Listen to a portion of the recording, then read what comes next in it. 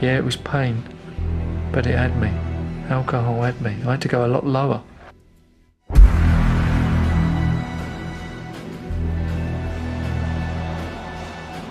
A fost vina mea și atât. A fost un copil.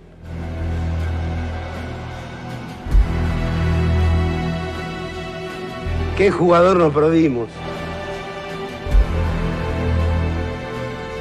If I have a drink, I'm, I can't tell you when I'm going to stop.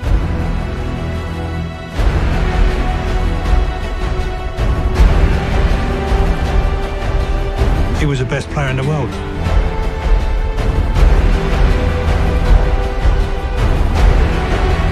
He was a pure animal, but it lasted for a short time.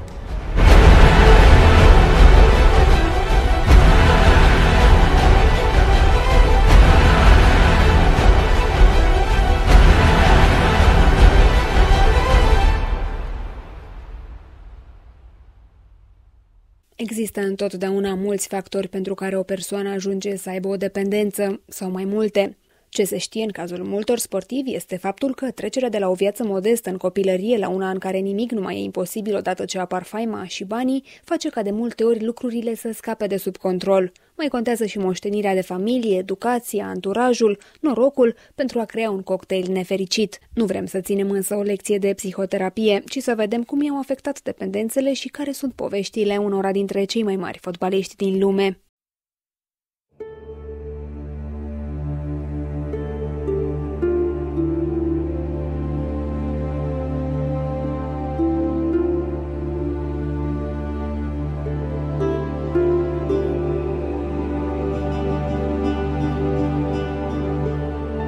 Toate acestea s-au spus despre George Best sau le-a spus Best însuși despre el și câte încă s-au mai spus, chiar și că a fost cel mai bun din lume. A spus-o chiar cel văzut de mulți alții cel mai bun, Pele.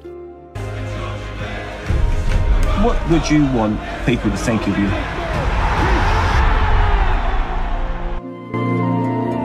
Este probabil cel mai bun fotbalist britanic din istorie și cel mai talentat număr 7. Cu siguranță însă este cel mai bun nord irlandez născut vreodată. I was born with something, and I didn't have to work very hard at it. Alcoolul i-a plăcut încă de când a devenit major și era jucător la Manchester United, clubul cu care a trăit cele mai mari satisfacții. Possibly everything had gone too smoothly. I had achieved everything before I was 22. Talentul a început să-i se irosească din cauza dependenței de alcool, iar la 27 de ani, forțat de forma care îi era tot mai afectată, a plecat de pe Old Trafford după 9 sezoane. George drank every single day for 30 years. You get the feeling that nothing can go wrong, you know, even if you make a little mistake. Pe când încă juca la United, a devenit primul fotbalist din lume care se transformă în subiect de presă pentru viața sa extrasportivă. Ziariștii și-au dat seama că viața lui tumultoasă interesează și au început să îl urmărească. Best primea săptămânal o mie de scrisori de la admiratoare. Era recunoscut pentru colecția de femei cu statutul de mis cu care a avut aventuri. Așadar, nu doar alcoolul i-a afectat cariera, ci și pasiunea pentru femei.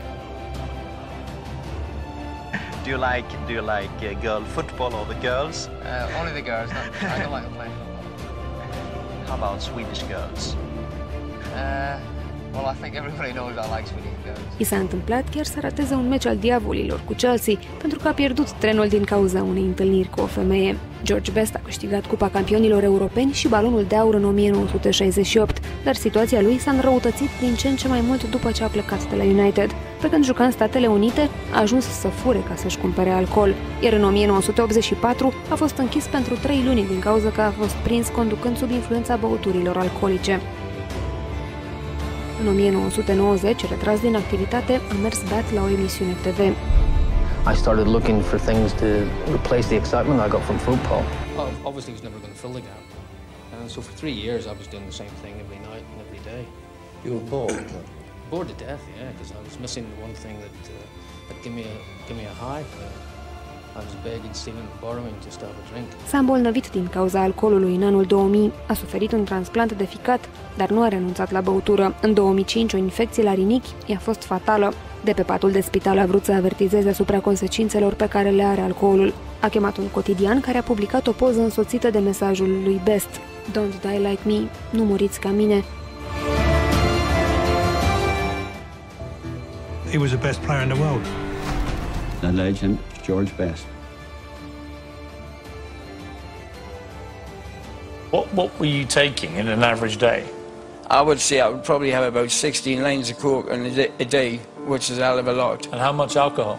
I was I was on four bottles of whiskey a day. Se întâmpla imediat după ce Paul Gascoigne s-a lăsat de fotbal în 2004. A fost cea mai grea perioadă din viața celui mai înzestrat mijlocaș din generația sa, după cum el însuși declara într-un interviu din urmă cu 8 ani. Trăisem pentru fotbal, pentru fotbal mă ridicam din pat și dintr-o dată a dispărut. Soluția pentru mine au fost alcoolul și cocaina.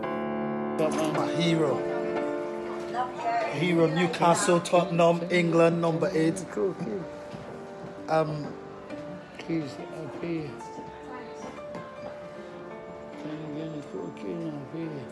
I could um I could ask.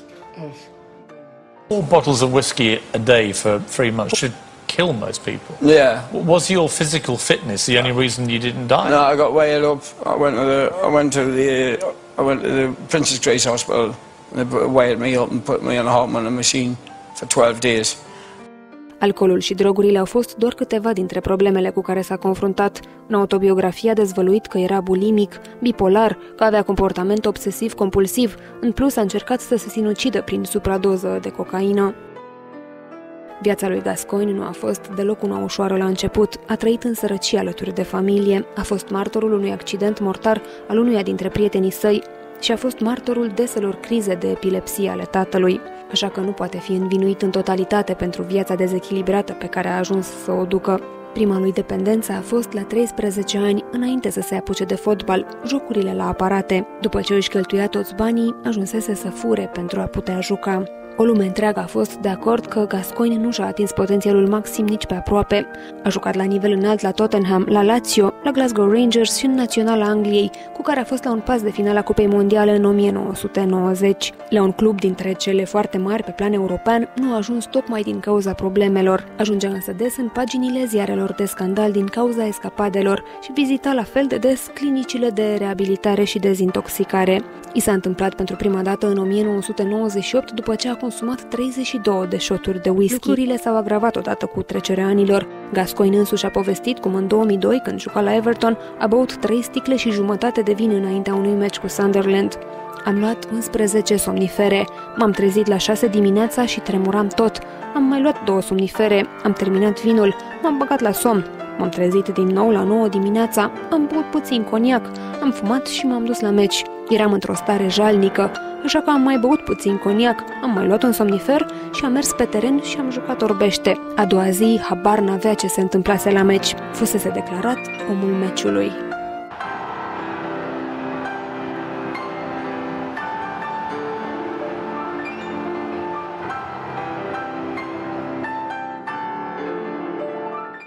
You go insane. It's the, the insanity of constantly keep on doing it. Viciile pot duce în pragul nebuniei și chiar îl pot trece. Multiplu campion cu Arsenal și jucător cu zeci de convocări la Naționala Angliei în anii 90, Paul Merson nu știe nici el ce l-a împins, ce l-a motivat și cum a ajuns să nu mai aibă nimic, în afara unor datorii financiare uriașe și unor dependențe de care cu greu a scăpat, cocaină, alcool, jocuri de noroc. After the bet goes on, you, you're like, what did I do that for? A început să parieze la 16 ani, odată cu primii bani câștigați când era junior la Arsenal. A mers cu colegii la o casă de pariuri și de acolo s-a dus naiba tot, rememorează Merson.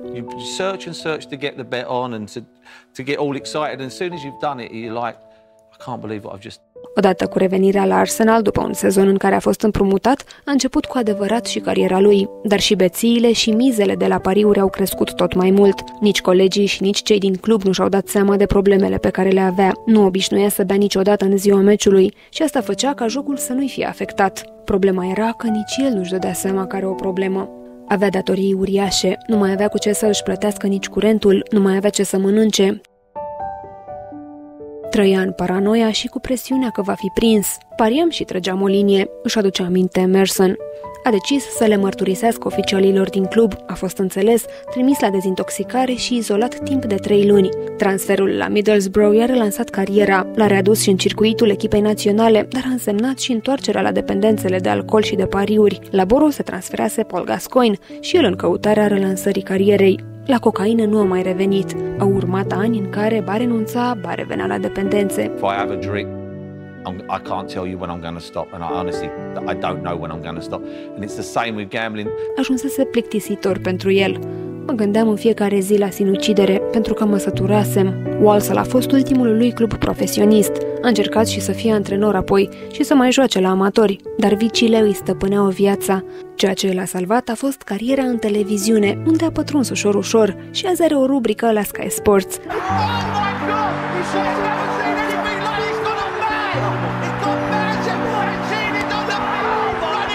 Recent a declarat din păcate că are devenit alcoolic. Acum nu mai pariază, oferă în schimb ponturi. I need to go to keep on going to meetings. I have to go to meetings. It's the, it's the only way that it can help. If I don't go to the meetings, I, I'm never going to get well. Ceea ce întărește ideea că de vicii nu scapi niciodată cu adevărat, ci doar le ții sub control.